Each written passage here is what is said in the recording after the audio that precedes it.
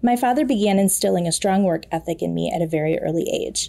His philosophy, one which has guided all my work experiences, was to do your job and do it well. Understand that what you do affects others. As a result of my father's influence, I've held myself to a high customer service standard beginning at the age of 14 in the fast food industry. In working with the public, you encounter all types of people which require you to keep your cool and handle situations with grace and composure. Being a resource for the customer drives all that I do. At TRICOM, our clients need us to be available and attentive. They look to us to be fixers. What I do influences a staffing company's effectiveness and their ability to run their business. Knowing that my service levels have that direct impact reinforces my dedication to my customer service. We aren't a big box company where clients get lost in a never ending loop. They can reach anyone and receive the service they're expecting. As new clients come to TRICOM, I realize I am the starting point for their experience with us.